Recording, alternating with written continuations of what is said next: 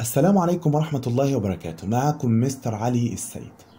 حبايبي طلاب سنة تالتة ثانوي. ده أول فيديو في العام الدراسي 2024 هنشرح فيه زمن الماضي البسيط والماضي المستمر بطريقة ممتعة ولذيذة. الوحدة الأولى عنوانها Read all about it. اقرأ كل شيء بشأنه. على بركة الله نبدأ. نبدأ بالماضي البسيط past simple. نبدأ بالفورم التكوين. هتلاقوني دايما بديكم مثال الأول عشان تفهموا القاعدة كويس جدا.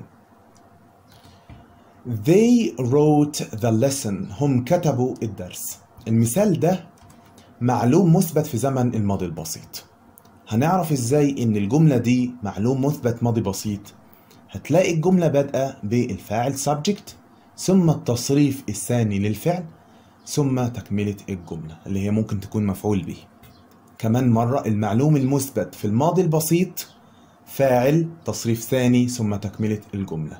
فاعل تصريف ثاني تكملة الجملة. wrote هنا تصريف ثاني للفعل write. طيب they didn't write the lesson. واضح جدا إن دي معلوم منفي. يبقى المبني المعلوم المنفي في الماضي البسيط يتكون من إيه؟ من الفاعل اللي هو they ثم didn't والمصدر زي didn't write ثم تكملة الجملة. كمان مرة فاعل didn't مصدر. فاعل didn't مصدر ده نفي ماضي بسيط. طيب did they write the lesson هل كتبوا الدرس؟ what did they write ماذا كتبوا؟ أكيد ده سؤال. تمام كده؟ يبقى السؤال يتكون من did فاعل مصدر لو ده سؤال بهل. Did فاعل مصدر did فاعل مصدر لو سؤال بكلمة استفهام بنبدأ بكلمة الاستفهام زي what مثلا did فاعل مصدر أخيرا بقى المبني المجهول في التكوين ودي أهم نقطة. The lesson was written by them. كتب الدرس بواسطتهم. عندك الدرس هنا هو نائب الفاعل. تمام كده؟ اللي هو أصلا كان مفعول به. ثم was where زائد التصريف الثالث. ثم تكملة الجملة. كمان مرة المبني المجهول والمعلوم أهم نقطتين في التكوين. المعلوم المثبت فاعل تصريف تاني. المجهول مفعول به أو نائب فاعل was where زائد تصريف تالت. ننتقل لاستخدام زمن الماضي البسيط. بنستخدم زمن الماضي البسيط for an action لحدث. Which began and finished والذي بدأ وانتهى in the past في الماضي. حدث بدأ وانتهى في الماضي. على سبيل المثال I studied my lessons yesterday. أنا ذاكرت دروسي امبارح. عملية المذاكرة انتهت وبالتالي بتكلم عن ماضي بسيط. حدث بدأ وانتهى في الماضي. حدث بدأ وانتهى في الماضي. الاستخدام الثاني لزمن الماضي البسيط for past habits للعادات اللي انتهت في الماضي. عادات كانت موجودة في الماضي وانتهت ما عادتش إيه موجودة دلوقتي. ممكن في الحالة دي برضو نستخدم used to. طيب نبص على المثال كده بيقول people traveled أو ممكن أقولها used to travel on camels in the past. عادة في الماضي اعتادوا أن يسافروا. برضو ممكن نستخدم الماضي البسيط للتعبير عن سرد أحداث أو قصص في الماضي. Narrating past events or stories. كمان مرة من الأول حدث بدأ وانتهى في الماضي. عادات كانت في الماضي وانتهت. سرد أحداث أو قصص في الماضي. الاستخدام الرابع في حالة if الشرطية الثانية. In second conditional if في حالة if الشرطية الثانية. نبص على المثال اللي جاي. If I had a car I would drive you to school. لو معايا عربية هوصلك المدرسة. هنا بنسميها جملة الشرط اللي فيها الماضي البسيط. وهنا بنسميها جملة جواب الشرط اللي فيها فاعل would والمصدر. كمان مرة حالة if التانية بتتكون من جملة الشرط اللي هي if ثم فاعل ثم ماضي بسيط. جملة جواب الشرط فاعل would والمصدر. وحالة if التانية تعبر عن حدث تخيلي في الحاضر. حاجة أنا بتخيلها أنا بتخيل عكس اللي بيحصل في الحاضر. يعني في الحالة دي أو المثال ده if I had a car معناها I don't have a car now. أنا مش معايا عربية دلوقتي. يستخدم زمن الماضي البسيط مع الكلمات التالية. Yesterday بالأمس. Last زائد مدة. وممكن ننطقها last بالبريتش. Last year العام السابق. Last month الشهر السابق وهكذا. مدة زائد ago. مثلا two days ago منذ يومان. in وسنة سابقة. In 2002 يعني في سنة 2002 The other day هنا بنترجمها مؤخرا أو منذ بضعة أيام. مش هنترجمها اليوم الآخر. يبقى the other day لو معناها مؤخرا أو حديثا أو منذ بضعة أيام دي كلمة دالة على زمن الماضي البسيط. وممكن أشيل كلمة day وأحط month وهكذا. طيب العادات في الماضي past habits. أول شكل العادات في الماضي used to المصدر بمعنى اعتاد أن. I used to stay up too late when I was young. اعتدت أن أسهر لوقت متأخر عندما كنت صغيرا. Used to بعدها مصدر. used to بعدها مصدر. لازم تحفظ معايا كويس الحاجات دي. used to بعدها مصدر. تمام كده؟ بس بشرط يكون قبلها على طول الفاعل. طيب نفيها إيه؟ I used to. نفيها didn't. وبعدها المصدر بتاع used اللي هو use. يبقى I didn't use to. دي لو هنفي العادة في الماضي. هقول ما كانتش موجودة. طب هل في أشكال تانية للتعبير عن العادة في الماضي؟ أيوة.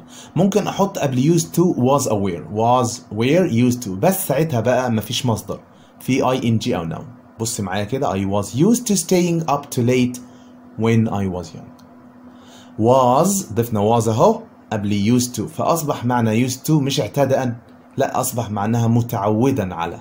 يبقى أنا كنت متعودا على السهر. آه هنا قلت اعتدت أن أسهر. كنا محتاجين مصدر الفعل. لكن لما قلت أنا كنت متعودا أو معتادا على السهر احتاجنا الاسم. وأنا ممكن أكون اسم بإضافة ing لأي فعل هيصبح gerund gerund يعني فعل زائد ing وهيكون المعنى بتاعه اسم. تمام كده؟ طيب كمان عندي شكل مشهور جدا. هشيل was were واحط became أو got أو grew. نفس القاعدة بالظبط يعني عندك was aware أو became أو got أو grew. ثم used to verb ing أو noun. For example, I became, got, grew, used to staying up too late when I was young. برضه هنترجم هنا used to معتادا على أو متعودا على. يبقى to هنا معناها على. أنا أصبحت متعودا على. got هنا معناها أصبحت برضه grew معناها كبرت على أو تعودت برضه هي نفس المعنى. تمام؟ السهر لوقت متأخر. آخر مرة لما تلاقي قبل used to was aware. أو verb to be عموما. بس هنا هنستخدم was aware عشان نتكلم عن الماضي. Uh, became got grew ثم used to ثم verb ing أو noun. طب يعني إيه كلمة noun؟ أنا من بدري عمال أقول verb ing أهي staying يعني noun. Noun زي كلمة مثلا pressure الضغط. تمام؟ Uh, conditions الظروف. أي اسم يبقى ممكن الاسم يكون فعل زائد ing أو اسم اللي هو العادي خالص من غير ing. طيب ركز معايا قوي في الملاحظة اللي جاية. بيقول I used to stay up late تساوي تماما I no longer stay up late تساوي تماما I don't stay up late anymore أو any longer. معناه إيه الكلام ده؟ إحنا قلنا من شوية I used to stay up late معناها أنا اعتدت على أن أسهر لوقت متأخر تمام كده؟ late هنا ظرف أو حال معناها لوقت متأخر طيب used to دي ماضي ولا مضارع؟ هسألكم سؤال used to مضارع ولا ماضي؟ ماضي صح؟ يبقى العادة في الماضي احتجت أن أسهر طب العادة موجودة ولا لأ في الحاضر؟ لأ مش موجودة يبقى أنا ممكن أعبر عن عادة في الماضي بإن أنفيها في الحاضر I no longer stay up late عندي طريقتين للنفي ممكن أقول I no longer أو أنفي الفعل نفسه stay ب don't أو doesn't. لو نفيت ب no longer مش هنفي الفعل لأن خلاص عندي نفي واحد أهو. I no longer معناها إيه no longer دي؟ معناها لم إيه؟ لم يعد أو أعد. لم أعد. stay up دي مضارع. لم أعد اسهر يبقى المعنى مضارع. طيب don't stay ده مضارع بس منفي. تمام كده؟ ساعتها بقى نستخدم معاها any more أو any longer. يبقى كمان مرة no longer بعدها مضارع بسيط إيه؟ مثبت. طيب don't أو doesn't زائد المصدر المضارع البسيط المنفي معاها إيه؟ anymore أو any longer. نخلي بالنا الترجمة بتاعت المثال ده شبه عندنا في العامية بالظبط. أنا ما بقتش أعمل حاجة خلاص. أنا ما بقتش أسهر خلاص. يبقى anymore أو any longer بالعامية معناها خلاص. ومعاها دايما الفعل منفي used to ممكن يكون ليها معنى تاني غير العادة. يعني ممكن يكون معناها يستخدم. A knife is used to cut food. A knife is used for cutting food.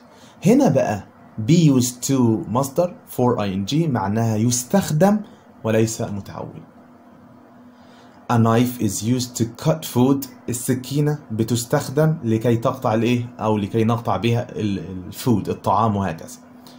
طيب إيه الفرق ما بين used to و used for كلمة used لو معناها يستخدم دايما قبلها verb to be. لو بعدها to هنختار مصدر على طول يبقى to مصدر. ماشي؟ لو for بعدها ing. يبقى عندك verb to be used to مصدر كده معناها يستخدم. verb to be used for ing برضو معناها يستخدم باختلاف الشكلين. طيب شوية ملاحظات إضافية هامة جدا على زمن الماضي البسيط. أول ملاحظة معانا بيقول مع الأفعال was aware لا نستخدم الفعل المساعد did في حالة النفي أو السؤال. يعني مثلا هقول I was at home. نفيها إيه؟ I wasn't at home. نفيها بسيط جدا. was wasn't were weren't. ما تقوليش didn't be. ما فيش حاجة اسمها didn't be في اللغة الإنجليزية. تمام كده؟ كمان مرة. was aware نفيها. wasn't weren't. ما فيش حاجة اسمها didn't be. الملحوظة التانية مهمة جدا جدا جدا. مثال بيقول I had my lunch. تناولت غدائي اتغديت. مين شاطر فيكم بقى ينفي لي المثال ده؟ I had my lunch. يا ترى نفيه I hadn't my lunch ولا I didn't have my lunch اللي جاوب وقال I didn't have my lunch برافو عليه. I didn't have my lunch وليس hadn't. طب ليه؟ عندنا had هنا فعل أساسي يعني مش مساعد يعني ما فيش بعده فعل هو الفعل الوحيد في الجملة الفعل الأساسي. had لو بعدها تصريف ثالث هتبقى مساعد لو لوحدها يبقى أساسي. لو الفعل had أساسي نفيه didn't have وسؤاله did فاعل have. وضحت؟ لكن لو had بعدها تصريف ثالث زي المثال ده I had done my homework before sleeping مثلا نفيها I hadn't done my homework طب ليه؟ لوجود تصريف ثالث اللي هو done بعد had فضفنا not طيب السؤال بتاعها إيه مثلا I had done يبقى had you done مش هنجيب did خالص طب هنا I had my lunch did you have your lunch وضحت كمان مرة verb to have لو أساسي بنجيب له مساعد في النفي أو السؤال. لو هو مساعد يعني بعده تصريف ثالث مش بنجيب له فعل مساعد فهو الفعل المساعد. الملحوظة رقم ثلاثة. علي did study hard last year. طيب مين شاطر كده يترجم لي الجملة دي؟ أو يخمن الترجمة. علي did study hard last year. هل الجملة دي سليمة أساسا؟ آه سليمة. ومعناها كالتالي. علي ذاكر فعلا بجد السنة اللي فاتت هو فين كلمة فعلا هنا؟ هو في قاعدة عندي بتقول إيه بقى؟ بتقول يمكن استخدام الفعل المساعد did اللي هو هنا قبل الفعل الأساسي اللي هو هنا study مباشرة في الجملة المثبتة للتوكيد يعني الكلام ده يعني لما تلاقي فعل مساعد did ثم وراه مباشرة مصدر الفعل وعلى فكرة do و does نفس الفكرة يبقى أنت قدام أسلوب توكيد. فترجمها حقا فعلا. يعني نقدر نقول إن الجملة دي تساوي تماما بصيغة تانية. علي really studied hard last year. علي حقا ذاكر بجد. خلي بالك من الملحوظة دي. did ثم مصدر ورا مباشرة. يعني ما فيش نط في النص فتبقى نفي ولا في في النص فعل فتبقى سؤال. لا ما فيش أي حاجة في النص. Did ورا مباشرة المصدر يبقى ده أسلوب توكيد. I wish I were a doctor. ركز معايا في ترجمة الجملة دي. أنا أتمنى أن أكون طبيبا. لا ثانية واحدة يا مستر. إزاي وير مع اي وإزاي وير أترجمها أكون؟ لا الترجمة اللي أنت سمعتها صحيحة مئة في المئة ركز معايا وتابع كده وهتفهم كلامي. بيقولك لما تلاقي فاعل وش ثم جملة ماضي بسيط ترجمها مضارع بس مضارع مش بيحصل. يعني إيه الكلام ده؟ لما أقول I wish I were a doctor معناها I am not a doctor now. أنا مش طبيب أصلا. أنا بتمنى ده. طيب I would rather علي used his phone. نفس الفكرة تماما. فاعل would rather جملة ماضي بسيط معناها الحاجة دي مش بتحصل. فأنا أفضل أن عليا ها يستخدم هاتفه. يستخدم إزاي؟ تاني يا مستر يوزد. هترجمها يستخدم؟ لا ما أنت هتشوف حاجات غريبة في القاعدة دي. يوزد هنا آه، معناها يستخدم مش استخدمها. ومعناها إن علي مش بيستخدم التليفون بتاعه. يبقى تساوي تماما he is not using his phone. علي مش بيستخدم التليفون بتاعه فأنا بفضل إنه يستخدمه. لأي سبب بقى؟ أنا مثلا علي أخد تليفوني فأنا عاوز يستخدم تليفونه هو مش بتاعي مثلا. يعني اختصارا للكلام القاعدة دي بنسميها الماضي غير الحقيقي يعني هو مكتوب ماضي بس بنترجمه مضارع. طب القاعدة دي إيه هي بالظبط بيقول لنا يستخدم الماضي البسيط بعد التعبيرات الآتية للتعبير عن شيء غير متحقق في الحاضر حاجة مش بتحصل. زي المثال ده هو مش دكتور. وهنا علي مش بيستخدم التليفون بتاعه. تمام كده؟ طيب إمتى القاعدة دي بقى تيجي في دماغي؟ أو أشوفها إزاي وأعرفها إزاي. لما تلاقي فاعل wish أو would rather ثم جملة ماضي بسيط أو it's time وقبلها هاي أو about ثم فاعل ثم ماضي بسيط ترجمها مضارع على طول بس مضارع مش بيحصل. تمام كده؟ طيب لو ماضي يا مستر لو ماضي ما كانش بيحصل بتخيل ماضي ما حصلش بستخدم ماضي تام. يبقى لكن لو تخيلنا حدثا عكس ما حدث في الماضي نستخدم زمن الماضي التام مع التعبيرات السابقة. I wish I had studied hard last year. واحد بيندم كده وبيقول أتمنى لو ذاكرت بيد السنة الماضية. يبقى كده معناها إيه؟ إن I didn't study hard last year. هتشوف القاعدة دي حاجات غريبة. من ضمنها مثلا last year إزاي تيجي مع ماضي تام المفروض last year كلمة دالة على زمن الماضي البسيط. فالمفروض تبقى هنا studied مش had studied. صح؟ لا. في القاعدة دي حاجات غريبة جدا. برضه ممكن تلاقي مثلا now مع الماضي. يعني مثلا I wish I had money now. now مع had إزاي؟ هي القاعدة كده. كمان مرة لما تلاقي wish would rather بعدها جملة ماضي بسيط يبقى بتخيل عكس الحاضر. ماضي تام يبقى بتخيل عكس الماضي. ننتقل بقى لزمن الماضي المستمر past continuous وممكن ننطق بال British past. كالعادة نبدأ بال form التكوين. I was reading a book when you called. أنا كنت بقرأ كتاب لما أنت اتصلت. دي جملة مبني المعلوم مثبت في الزمن الماضي المستمر. يبقى الماضي المستمر في المعلوم المثبت يتكون من فاعل هو I ثم was aware ثم verb plus ing ثم تكملة الجملة. كمان مرة المعلوم المثبت في الماضي المستمر فاعل was where plus verb ing النفي بقى والسؤال سهلين جدا. النفي بننفي ب not I wasn't reading a book. I wasn't reading a book. ده النفي في الماضي المستمر. يبقى يتكون النفي في الماضي المستمر من فاعل.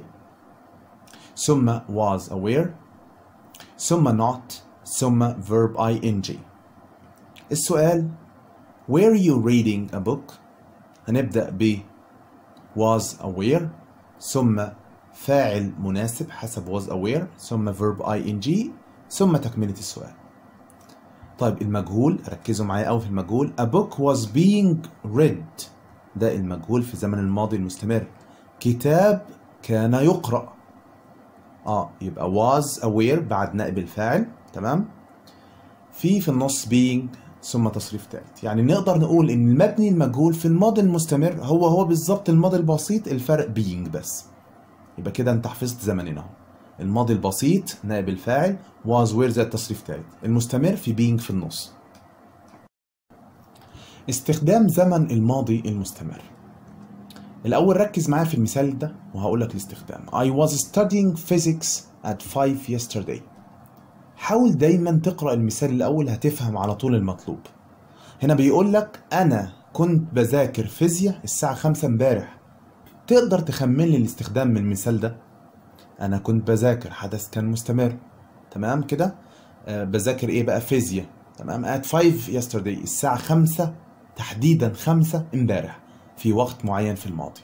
يبقى نقدر نقول أول استخدام an action which was in progress حدث كان مستمر. At a specific time في وقت معين in the past. حدث كان مستمرا في وقت معين في الماضي. يبقى أول استخدام للماضي المستمر حدث كان مستمرا في وقت معين في الماضي.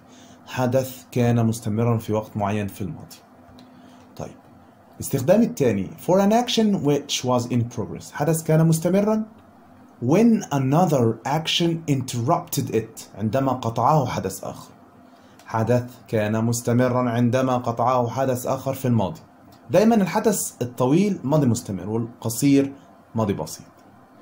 He was driving too fast when he hit the man. فين الحدث اللي كان طويل هنا؟ اللي هو الماضي المستمر. Was driving. هو كان يقود بسرعة جدا. When he hit. خلي بالك أنا ممكن أستخدم when في الماضي المستمر. ماشي؟ عندما صدم الراجل خبط الراجل. مين الحدث اللي كان طويل إن هو كان سايق والقصير إنه خبط الراجل. خلي بالك هيت من أفعال التصريف الأول والتاني والتالت زي بعض.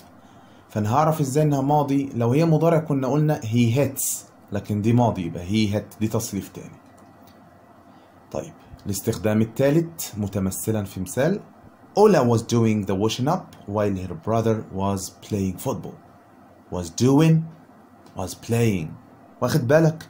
ماضي مستمر. ماضي مستمر يبقى الحدثين كانوا بيحصلوا في نفس الوقت. يبقى for two actions حدثان happening at the same time بيحصلوا في نفس الوقت. تمام كده؟ الحدث الأول علا كانت بتغسل المواعين أثناء ما أخوها كان بيلعب كورة. هما الاتنين بيعملوا الحاجة في نفس الوقت الحدثين كانوا مستمرين في نفس الوقت. كمان مراجعة سريعة كده على استخدامات الماضي المستمر. حدث كان مستمرا في وقت معين في الماضي. I was studying physics at 5 yesterday حدث كان مستمرا عندما قطع حدث آخر في الماضي. He was driving too fast when he hit the man. حدثان كانوا مستمران في نفس الوقت في الماضي. علا was doing the washing up while her brother was playing football. While. أشكال while مع الماضي المستمر. أول شكل while while أحمد was cleaning his bike. He found a ring. بينما أحمد كان ينظف دراجته وجد خاتما.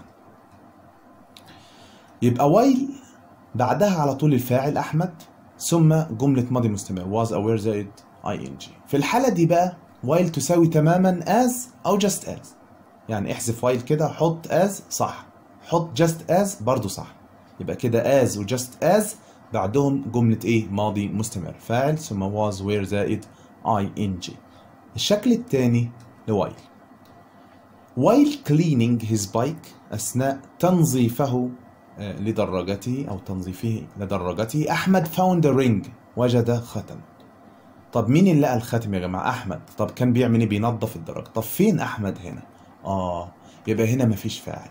مفيش فاعل في الحتة دي خلي بالك. يبقى الحالة التانية لوايل نحذف الفاعل نحط verb ing على طول. طيب في الحالة دي تساوي as و just as لا إطلاقا في هذه الحالة لا تساوي as أو just as. إذا كده as و just as لو معناهم بينما بعدهم جملة ماضي مستمر. مفيش verb ing جملة كاملة. فاعل was where زائد verb ing طيب عندنا كلمة برضو ليها نفس المعنى. زي while اللي بعدها verb ing. ما هو while ممكن أترجمها أثناء. في كلمة كمان اسمها أثناء اللي هي during. تمام كده؟ هي تساويها في المعنى بس لكن في القاعدة ما تسويهاش during بعدها اسم noun مش verb ing. يعني لو رجعنا الوايل جه بعدها verb ing في حالة عدم وجود فاعل. لما حذفنا إيه الفاعل؟ طيب during. لا during بعدها اسم على طول من غير ing. During the match one player was injured. أثناء الماتش لاعب أصيب. يبقى هأكد على القاعدة دي عشان مهمة جدا. في حالة عدم وجود فاعل بعد while أو during. while بعدها verb ing during بعدها اسم والduring ملهاش أي أشكال تانية. يعني مفيش جملة بعدها أساسا. بعدها اسم دايما. الشكل الثالث while on holiday I forgot all about work. أثناء ما كنت في الأجازة أنا نسيت كل شغلي. هتقول لي يا مستر فين أثناء ما أنا كنت؟ فين أنا كنت؟ لا ما ممكن أقولها. While I was on holiday. اختصرناها ل while on holiday. إذا من ضمن أشكال while يكون بعدها حرف جر في الغالب on أو in أو at أو أيا كان إيه. زائد اسم ثم تكملة الجملة التانية. تمام؟ يبقى عندي ثلاث أشكال. while بعدها جملة ماضي مستمر. while لما أحذف الفاعل أحط verb ing during بعدها اسم من غير ing while ممكن يجي بعدها حرف جر on أو at أو in ثم اسم طيب الشكل الرابع لوايل while. I was at home I heard some noise تقول لي يا مستر ثانية واحدة الشكل الرابع ده هو هو بالظبط الشكل الأول. جملة ماضي مستمر. هقول لك لا فين الماضي المستمر؟ فين was where زائد ing فين ال ing مفيش. آه يبقى was ده هنا الفعل الأساسي معناها كنت. بينما كنت في البيت. طب ده زمن إيه أصلا؟ ده زمن ماضي بسيط. فاكر لما قلت I was at home نفيها I wasn't at home كانت في الماضي البسيط. طب إزاي ماضي بسيط ممكن يجي بعد while لما يكون الفعل ده فعل حالة. يعني إيه فعل حالة؟ while فاعل ثم فعل حالة ماضي بسيط على طول. وأفعال الحالة لا تأتي في الأزمنة المستمرة. واختصارا كده أفعال الحالة معناها في حالة ثبات. حاجة كده مش بتشوفها بعينيك حاجة في قلبك أو عقلك. تمام كده؟ حاجة ما ينفعش تقول عليها عمال بيعمل الحاجة. يعني مثلا ممكن أقول أنا عمال أغسل عربية بس ما ينفعش أقول أنا عمال أكون في البيت صح ولا لأ؟ أنا عارفكم ما فهمتوش النقطة دي بنسبة 100% بس هناخدها بالتفصيل في المنهج إن شاء الله. طيب رقم خمسة On touching the hot pan my sister screamed. عند أو بمجرد لمسها للطاسة الساخنة أختي صرخت.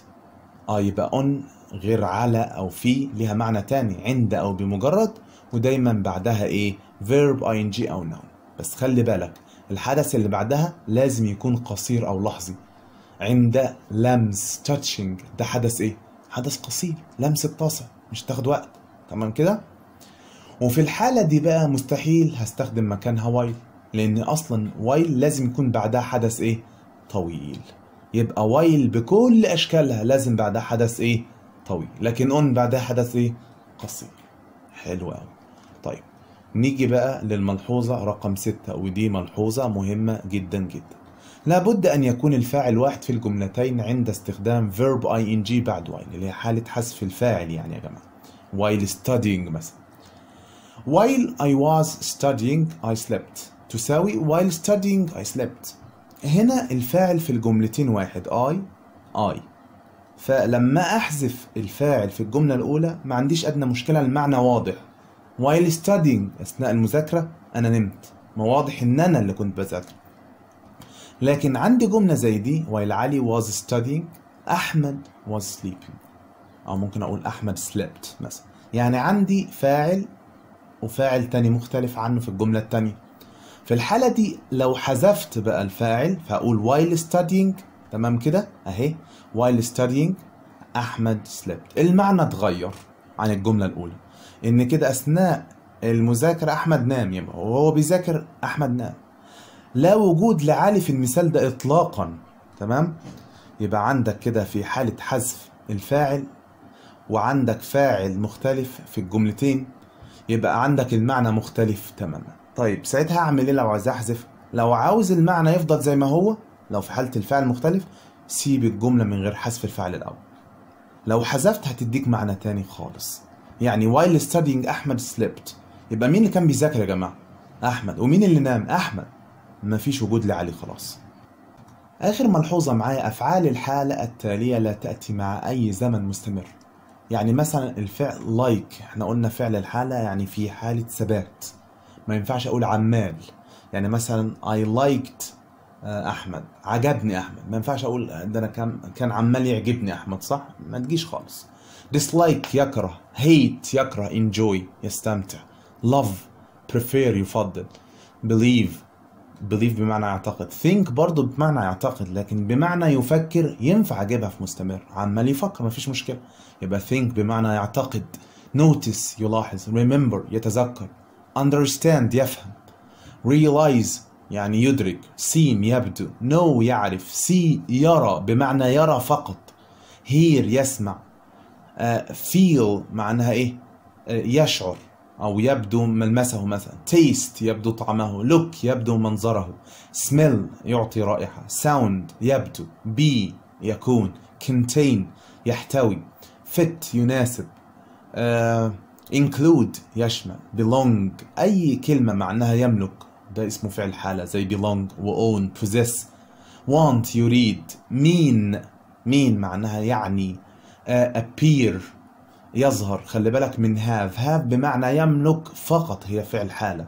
أي معنى تاني؟ لا مش فعل حالة فعل حركة. يعني مثلا I have a car أنا معايا عربية ما ينفعش أقول I am having a car. أنا عمال أملك عربية ما تجيش. لكن I am having my lunch عمال آكل الغداء بتاعي ما فيش أدنى مشكلة. cost تبلغ تكلفته أو يدين need يحتاج surprise وهكذا وهكذا. طيب شوية أمثلة كده. I liked chocolate. أنا كنت بحب الشوكولاتة. ما ينفعش. I was liking كنت عمال أحب الشوكولاتة. ما تجيش. فعل حالة. I believed in ghosts. أنا كنت أؤمن بالأشباح. مش uh, was believing. ما تجيش طبعا. ما ينفعش. أقول كنت عمال أؤمن. I saw the cat. تمام؟ أنا شفت القطة. ما ينفعش أقول أنا كنت عمال أشوف القطة تمام؟ لو أنت بتراقب القطة هيتغير معنى see إلى watch. يبقى ممكن ساعتها تقول I was watching. the cat عمال يشوفها كمراقبة. لكن see بمعنى يرى كده رؤية لحظية ما ينفعش إيه يجي في المستمر. This car belonged to me. العربية دي كانت تخصني. ما ينفعش أقول كانت عمالة تخصني. ما تجيش أي فعل معنى يملك ما يجيش في المستمر.